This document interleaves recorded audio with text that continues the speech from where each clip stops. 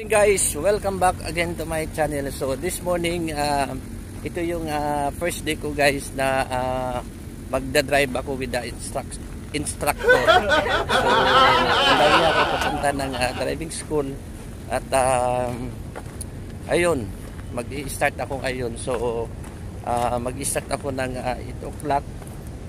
So matatapos siya ng around 9 o'clock, almost 1 uh, hour lang. So meron akong 5 uh, days para lang sa uh, aking uh, uh, driving. So samahan nyo ako guys at uh, uh, di ko alam kung makapag uh, video ako dun sa loob sa uh, actual.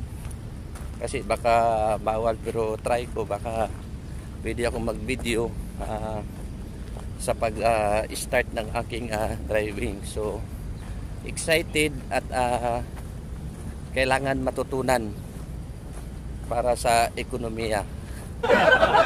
Kailangan guys uh, kailangan ko talaga na may pasa para meron akong uh, license. At pag once nakapasa na ako so ako na mismo magda-drive. So kailangan talaga. Then uh, so sana uh, may apply ko yung ituturo ng aking instructor para magagamit ko. Kasi kailangan talaga na sabi ko nga uh, may pasa yung um, driving ko at uh, para meron akong sariling uh, driving license dito sa Qatar. So napakahalaga. So kailangan lang mag-focus. So uh, undawin ako guys. At uh, sana makapag video ako doon sa loob kung uh, pwede. Pero kung bawat naman uh, kukwento ko na lang kung anong mga kaganapan o mga pangyayari sa aking first day uh, driving dito sa uh, Dala Driving School. So yun lang guys. And then uh, mamaya uh, mag-update ako. Uh, kasi malapit na rin ako dito sa uh, driving school. So Thank you. Natapos na yung ano namin uh, first day of driving. So far okay naman. Uh, paikot-ikot lang kami doon sa sa oval. So kailangan talaga uh, perfect. So ano lang siya uh, straight, right turn, U-turn.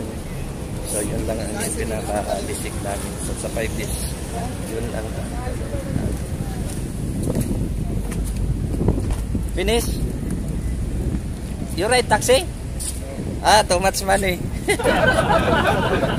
so, tapos na ako. So, okay naman. So, bukas ulit. So, sana mag-improve yung pagsa-driving ko. So, yung driver ko naman parang ano eh, parang parang, um, parang okay naman So, kailangan talaga natuto sa pagdadrive. Kasi, kailangan mo na uh, license. Dami. Dami. So, dito dito po lahat yan uh, nag uh, practice ng uh, driving. So, pauwi lang po. So, naman yung pag-practice. Uh,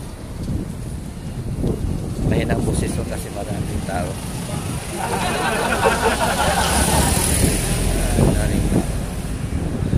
so masaya sana mag-i-improve at uh, pumasa sa final sa pinaka road test so 5 days uh, continue yung uh, pagba pagdadriving namin so sana maging uh, think positive always